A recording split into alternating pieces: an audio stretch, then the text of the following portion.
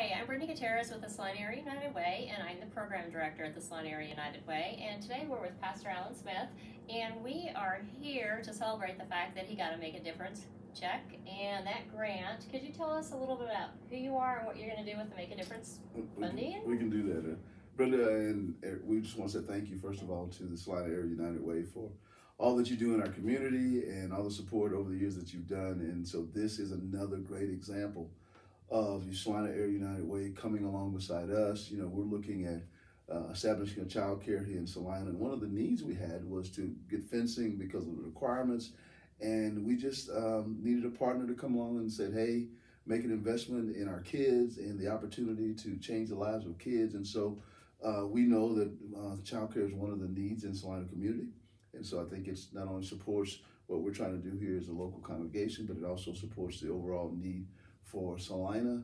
And so, with your contribution, we're going to be a part of uh, meeting that need, and you're a part of our overall vision to help change kids' lives. So, uh, the contribution uh, definitely is going to be a life changer, difference maker for especially some kids that we serve. We serve kids that, you know, may not necessarily be able to go to some of the other places and low income, high risk, uh, parents who have, um, you know, just hard uh, blue collar jobs and they're looking for a safe place.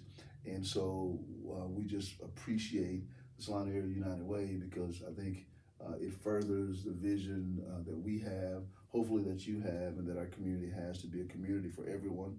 And so uh, that's that's the kind of things that your your, your contribution uh, does for us and does for our community. So. Well, we are very glad to hear this. With the Make a Difference grant, the fence that yes, is a part yes, of, there yes. was already a playground, there was a shelter, so putting a little bit more and um, the opportunity Just- to serve community, um, strengthening our community. When we think about we fight for the health, education, and financial stability of all people, um, we're glad to have you be a part of that. So thank you. Hey, I'm, I'm, we're glad to be a part of it. But but we say this: we, we cannot do it without community, without help. Uh, and so when you talk about education and, and making a better community, uh, I would hope that those who support you also see that when you turn around and give out a grant to an organization like ours, that it is furthering that purpose in making our community better. So that Make a Difference grant is making a difference, and we want to encourage anyone who is supporting the Salina Area United Way to make sure that you continue to do that because it's organizations like ours and kids that we serve that when they support you and you support us, it, it's it's a tremendous uh, partnership that uh, we want to continue to do.